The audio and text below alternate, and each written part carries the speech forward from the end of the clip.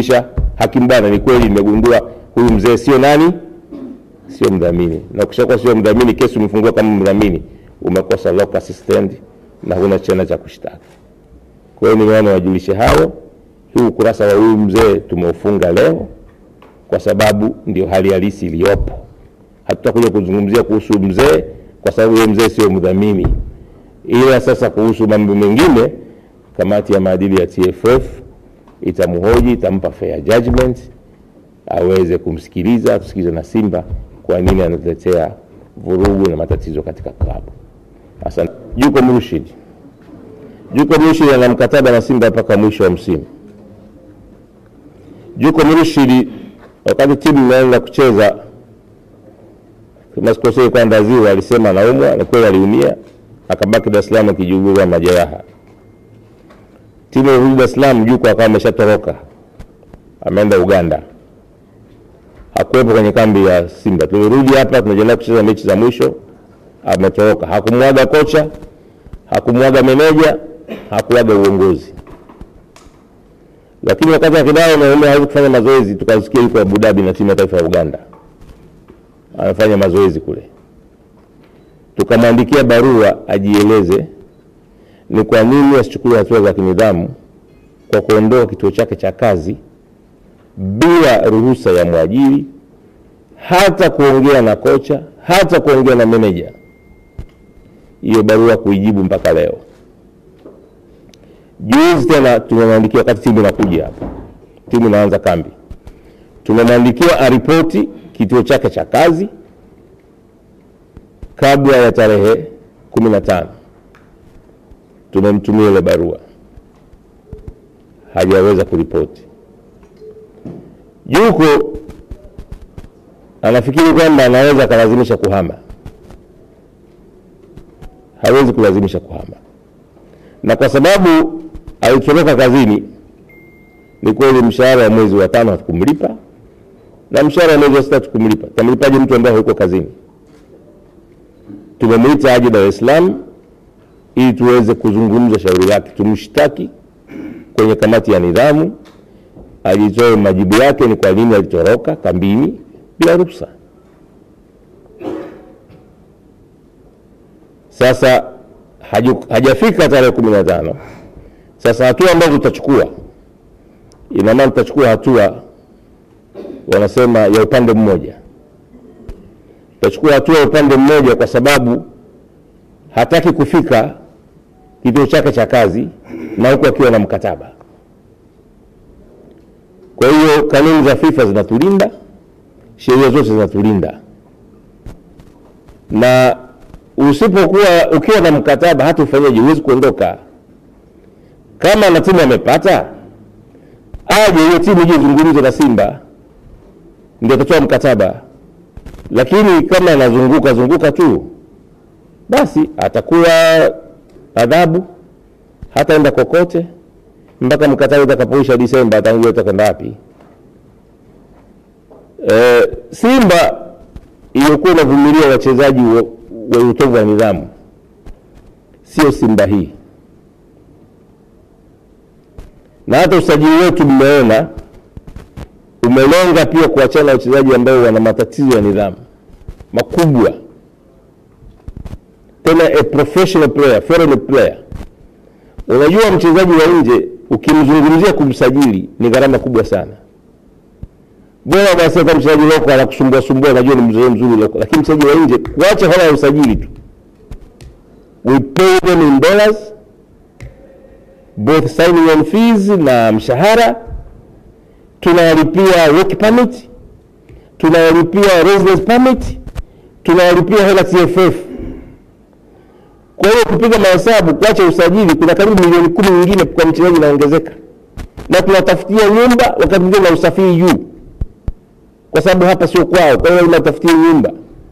Kwa mchezaji mmoja kuacha gharama ya usajili tu anaweza kugharimu kila, kila, kila mchezaji zaidi ya milioni karibu ishirini.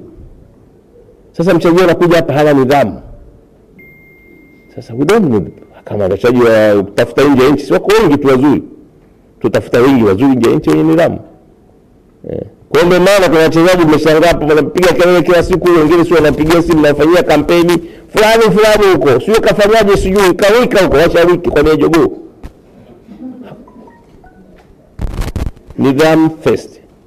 Kwa hiyo yuko ndio hali halisi hiyo. Na hii yuko sio mara ya kwanza kuingia kwenye matatizo ya nidhamu. Ni mara nyingi ameingia kwenye matatizo ya nidhamu. Lakini sasa hivi anavyoelekea simba ina uongozi imara uongozi unajua sheria mjibu na kanuni za fifa. Kwa hiyo akarukaruka tu mwisho akabidi apige hapa ameshaanza kunitext text message kila siku. Naambia sawa nitakujibu. Njoo kwangu dar es salaam.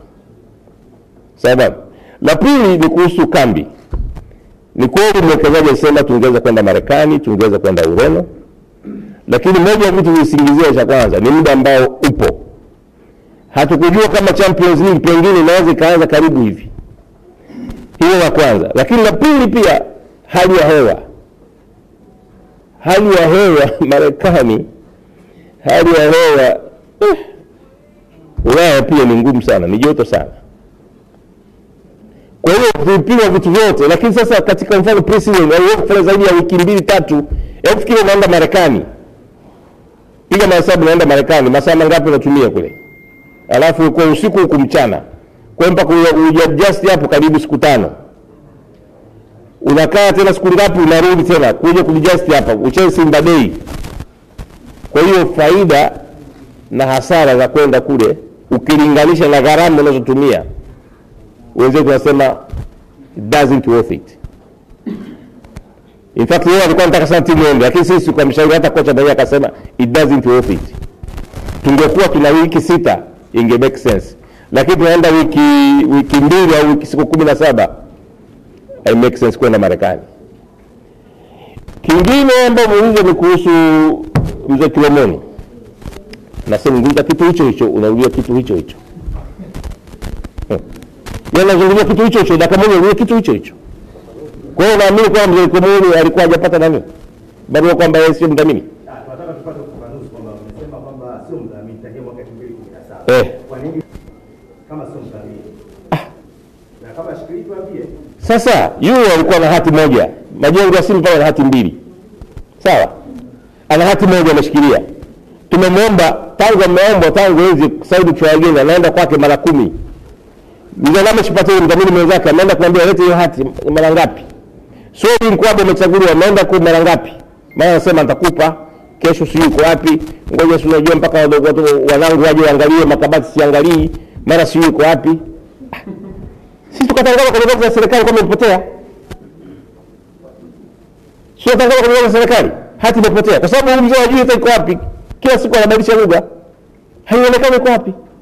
Sisi tukitangaza, serikali zinakupa kopi nyingine. Sasa tuende kumsikiliza mpaka ataka- atakapotoa. Tumeshapata nyingine, ndio anakuja nayo. Jamani, let's be serious. Kwani wewe si ulichaguliwa? Kwanza kwanza mzee Kilomela alichaguliwa na nani kuwa mdhamini?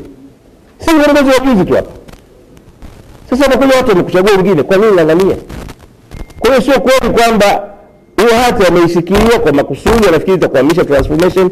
Haiwezi kukwamisha transformation kwa sababu jamani, ardhi Tanzania ni mali, mali ya serikali.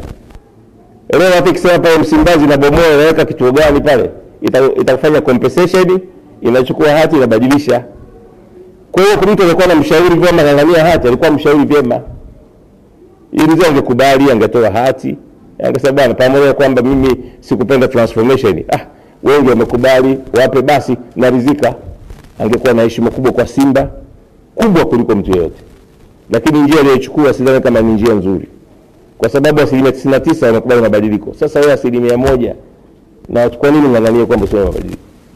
Kuhusu barua nilikuwa nimekueleza, barua alijua kwamba yeye sio mdhamini na mwanasheria yako. Kwa nini ile kesi walivyo? Kwa sababu ilikosa nguvu, wakajua sio wadhamini.